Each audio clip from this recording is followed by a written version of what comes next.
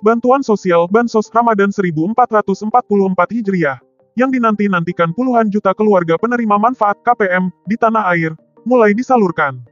Direktur Bisnis Kurir dan Logistik PT Pos Indonesia Siti Coriana mengatakan penyaluran Bansos Ramadan 1444 Hijriah tahap pertama ini dilakukan serentak di seluruh Indonesia mulai Rabu tanggal 5 April tahun 2023 penyaluran bantuan sosial Bansos Ramadan 1444 Hijriah telah dimulai di seluruh Indonesia pada tanggal 5 April tahun 2023.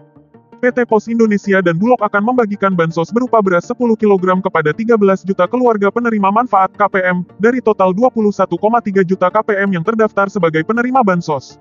Sisanya akan disalurkan oleh mitra pemerintah lainnya. Beras yang dibagikan berasal dari Perum Bulog dan setiap KPM akan menerima 10 kg beras.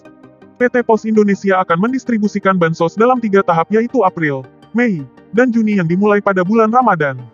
Pendistribusian bansos beras telah dimulai dari wilayah paling timur Indonesia, yaitu di area Papua seperti Jayapura, Fakfak, dan Merauke.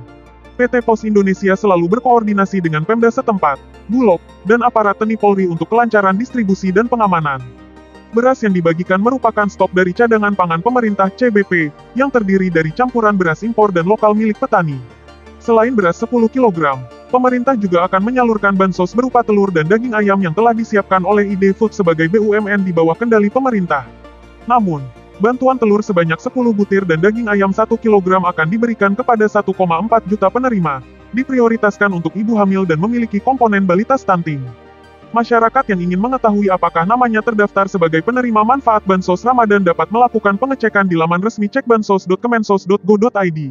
PT Pos Indonesia optimistis dapat mengejar target dan menyelesaikan tahap pertama sebelum Idul Fitri dengan persiapan yang matang dan terorganisir dengan baik.